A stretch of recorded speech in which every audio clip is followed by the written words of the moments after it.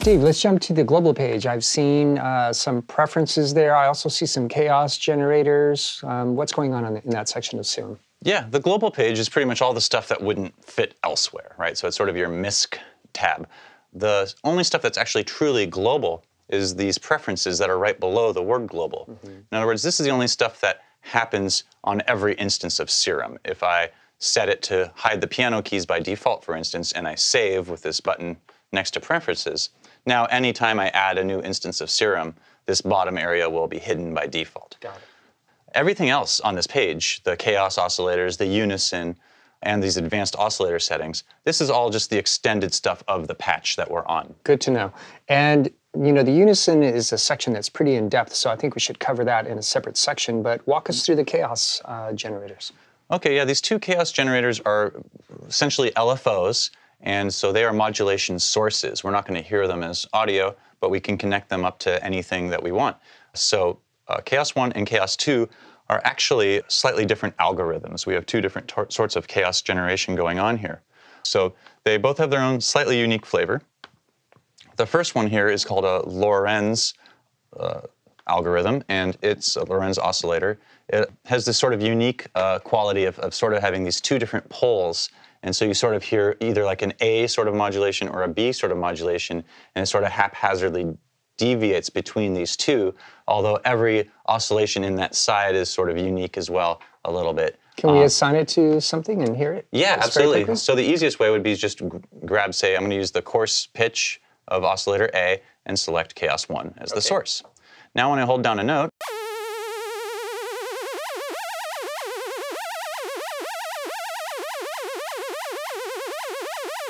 It's never exactly the same, but it does have a quality of vibrating at the top, vibrating, vibrating at the bottom, and that's right. oscillating between the two.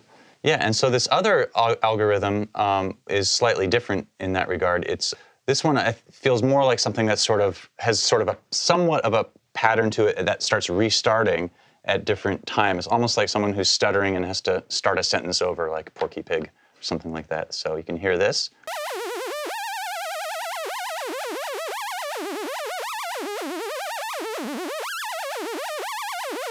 Got it.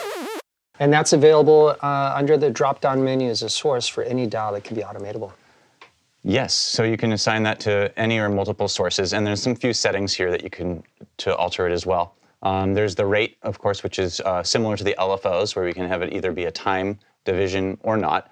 But given the fact that this is chaotic, the time division is not going to really sound like a banging rhythm, right? We're not going to be really on a beat. So it's sort of more of an approximation, you could say, of if you wanted some sort of something in your mind that you sort of felt you wanted an oscillation to be around. It's sort of a, a fairly, a somewhat accurate target for that. Okay. And then the uh, other switch here is mono, and what mono does makes makes this chaos oscillator global for all notes that are playing.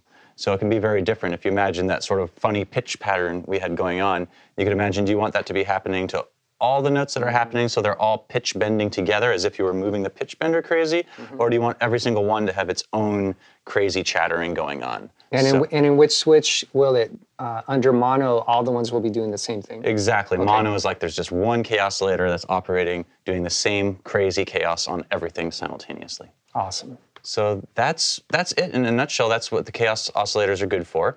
Uh, really quickly, we have some oscillator settings over here. There's a fine tuning for your noise which generally you don't need that if your noise is just a hiss, but it would be nice if you're using the noise for something pitched and you just feel like it's a little out of tune. That's true because if you go back to um, the oscillator page, um, you don't see a fine a fine tuning. You do see a coarse pitch, right? There's a coarse pitch, and it's generally good for enough things. But when you go into key tracking mode, I felt that it would be nice to have this really just operate on semitones. So that's the way that this works. Okay. Uh, that way you can really dial it into a certain note.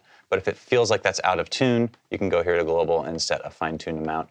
Uh, you know, 90% of the time, you don't really need anything to be in key, which is why I felt it didn't really need to be stuck there on the main page. Makes sense. And felt, felt fine tucked away. But we have oversampling, and this oversampling mode really is just 2x or 4x is the main decision here. 1x is sort of a coming soon feature, which I'm going to add a more uh, you know, sophisticated low quality mode essentially for the, the 1x. Um, so I recommend to generally leave it on 2x, but if you're doing heavy FM is the main reason that you'd want to do uh, the, the 4x. So if you're using these FM modes uh, down here, And maybe maybe for these modes as well, the sync and the bend. If you really want to have the least aliasing possible, you can put it at 4x. But there is an expensive CPU going on when you do that, so it's a little bit of a trade-off. For, for most times, the quality of just the oscillators by nature is good enough that 2x is, is plenty. And, and this switch really doesn't do any change at all if you're not using those warp modes. So, so again, which is why it's fine being stuck away on this page. And typically, I'd say, don't worry about it. You can just leave it alone. Okay. And then finally, we have this pitch tracking, which you can disable. Oh, there it is. If Cool. you were doing something like you were trying to make an 808 and you just wanted one pitch across the whole keyboard, Mm-hmm. and you didn't want the note to change when you played on the keyboard, you can disable uh, the pitch tracking here. Good to know. So in the next section, we're going to be covering the unison section, which has a lot of interesting parameters that I found really useful.